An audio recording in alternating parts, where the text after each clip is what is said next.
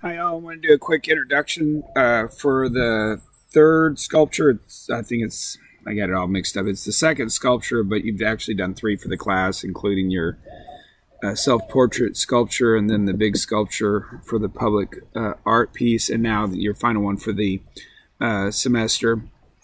This is.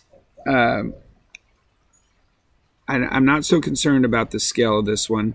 I want you to build it with the resources you have. I never want you to spend a lot of money, although I will encourage you to think about um, anything that you do in any class, especially any creative class, that you're thinking about your portfolio. So I say this because if you just want to do something half-ass, that's fine, but then I wouldn't put that in your portfolio. And my thought is, why waste the time and energy if you're not going to create something that you can put on your resume and in your portfolio to show the work that you do and the talent that you have and the skills that you possess and blah blah blah.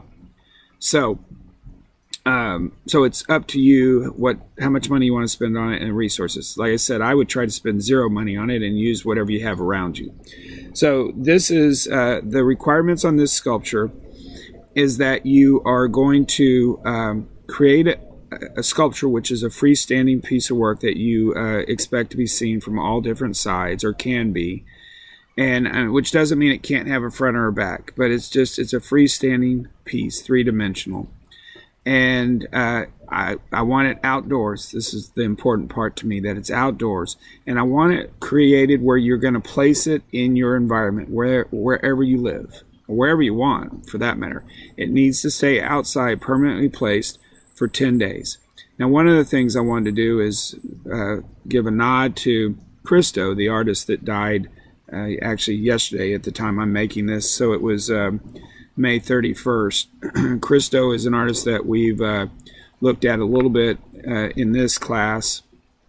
Him and his wife did outdoor large scale installation work. And I always like using Christo because it kind of forces you to think about what is art and what's the value of art and what's the purpose. Um, he really pushes the boundaries on this, and he's spent his entire life and spent millions and millions of dollars creating art, and probably has made just as much because he self-financed all his own work, so he had to make that much at some point.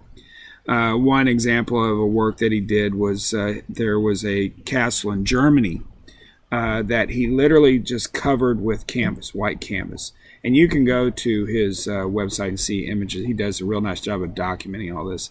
Uh, but it took him 25 years to get everything worked out and eventually get this castle wrapped.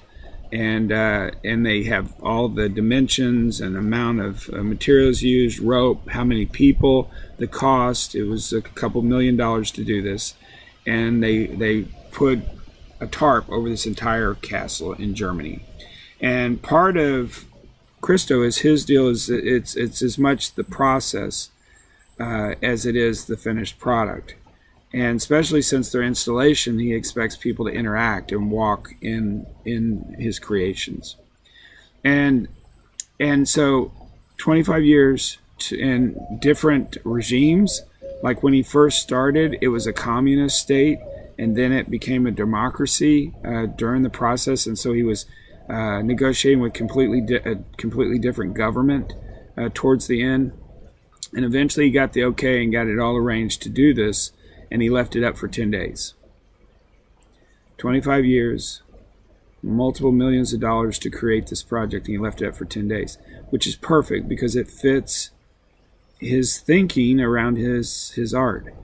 And um, I think the simplest way that I would explain his art, just as an aside, is that if you look at some of the pictures and the thousands of people that turned out to see this monstrosity, this castle wrapped, like why would anyone wrap a castle in sheets or tarps or whatever it is? Doesn't matter, in cloth.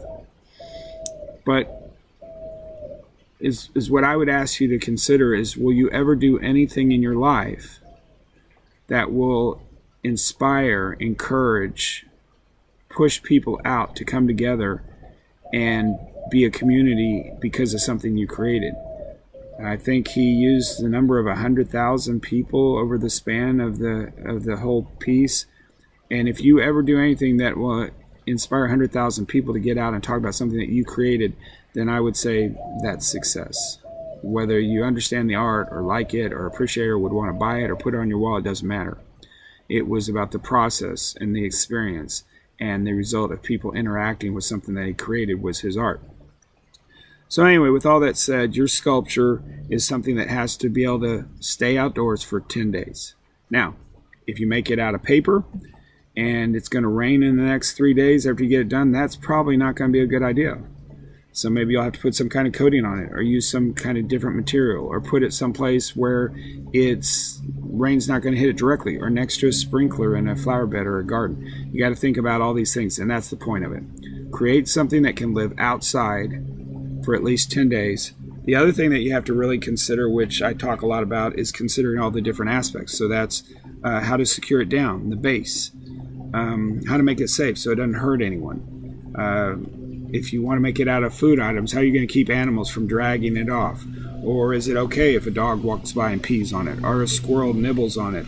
Um, these are all factors that you have to think about. And then, of course, we've already done the dialogue, uh, the exercise on dialogue, and thought about that. So, what does the piece say? Does it live well there? So, you're going to create this piece. And the one thing different, um, so you can create a maquette if you want, but more than likely, I would just create the piece and be comfortable with it. Might not be exactly what you're thinking or imagining or figuring out as you go along. That's okay. Uh, but the piece, the extra piece to this project is you're going to do a fully developed proposal. And on the digital workbook, the workbook that I have, uh, I've given links to, and when I write this up, I'll give you a link again to that workbook.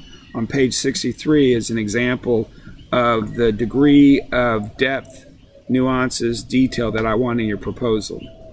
And I will be grading accordingly. So you need to have pictures of the piece, of the site, the piece in the site. You need to show me uh, thinking building up to it, the cost of it, uh, dimensions, uh, sketches of what you're imagining in the development process, uh, a statement about it, um, supplies, everything. I want a, a, proposal as if you were going to someone and saying, I'd like to create this for this site. Uh, will you commission it?